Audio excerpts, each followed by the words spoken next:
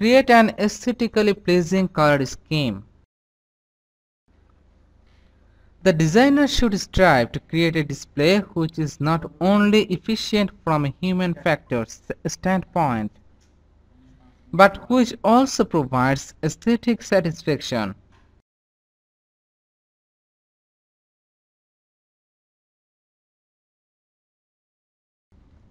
It takes an expert to apply color in creating a very high quality image, but anyone can learn to use color to enhance aesthetic appeal.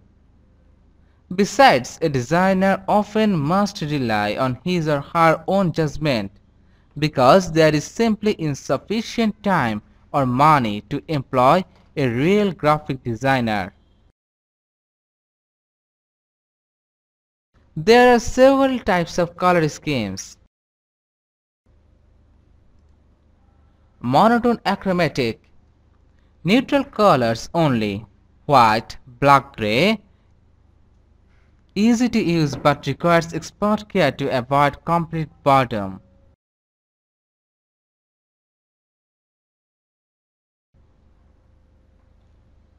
Monotone chromatic a single chromatic color ranging in brightness and saturation red, pink, rose, etc. Easy to use but again risks monotony.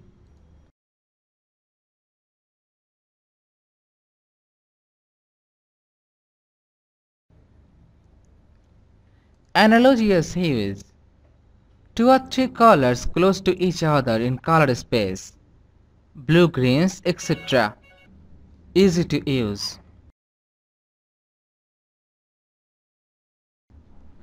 Complementary hues Contrasting hues blue-orange, red-green requires care since it can appear garish and unbusinesslike.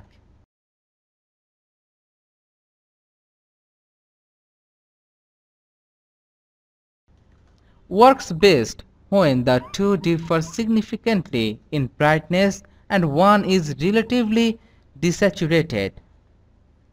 A dimmer desaturated red and a brighter saturated green.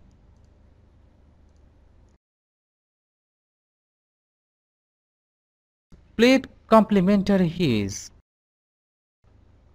uses three colors, one base color plus two near but not directly across color space orange with blue greens.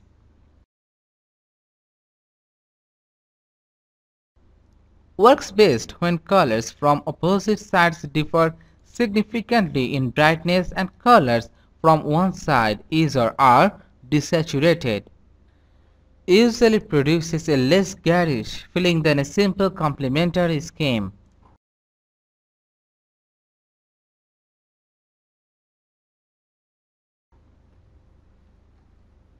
Triad hues uses three hues approximately equidistant in color space red, yellow, blue.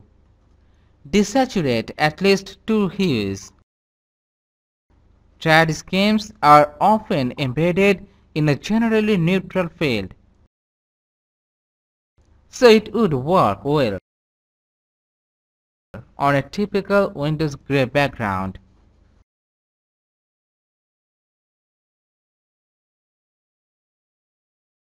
Tetrad color uses four hues at equal intervals in color space yellow, green, orange or red, blue or violet.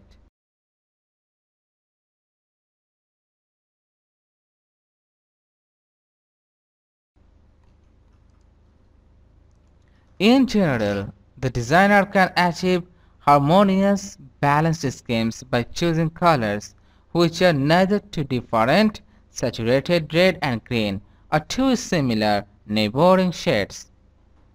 Hue, saturation and brightness differences can all be used to modulate balance.